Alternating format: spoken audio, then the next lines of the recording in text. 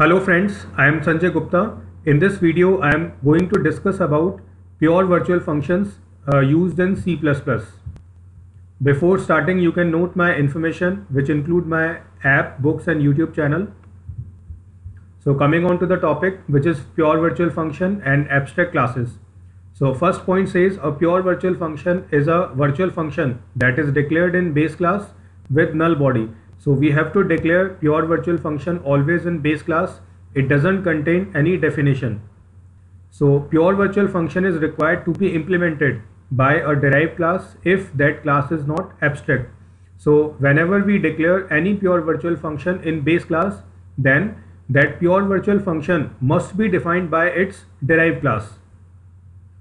So third point says classes containing pure virtual functions are termed as abstract classes and we cannot create object of abstract classes. So if you implement any of pure virtual function in a particular class, then that class will convert into abstract class and you cannot create object of that class.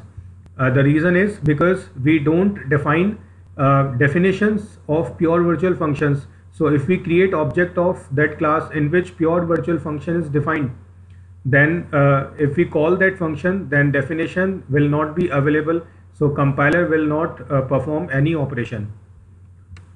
Last point says a subclass of an uh, abstract class can only be instantiated means its object can be created directly if all pure virtual functions declared in base class have been defined in subclass. So if uh, a particular class contains certain pure virtual functions so uh, in derived class you have to define all the definitions if you have uh, done so then you can create object of that derived class. So after discussion, uh, you can see the syntax of pure virtual function. So first you have to use virtual keyword, then return type of function, then function name, then argument list, and then equals to zero. So this notation will convert this function declaration to null body means you cannot define uh, this function in uh, this class. So this is the example of pure virtual function. Name of classes stack.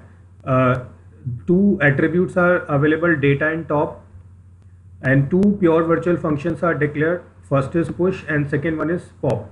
So this is base class. Uh, this base class is uh, declaring two functions. So the benefit of pure virtual function is that now you have to only inherit this stack class and you have to define definitions of push and pop function. So you don't have to decide name of function. You don't have to decide a parameter list. You don't have to decide return type of the function. You just have to inherit this class and you have to implement the definitions of the functions. So you can see uh, here uh, stack class is inherited into my stack class. And in my stack class you just have to fill these blocks one is for push function and second one is for pop. And uh, the prototype of the functions you have to follow which is declared in base class as pure virtual function. So friends pure virtual function uh, uh, will be uh, only implemented in base class.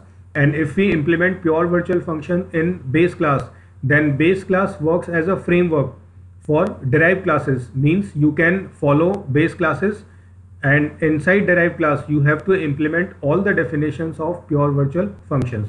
And if we define any pure virtual function in a class then that class will become abstract class. So this is all about pure virtual function. Thank you for watching this video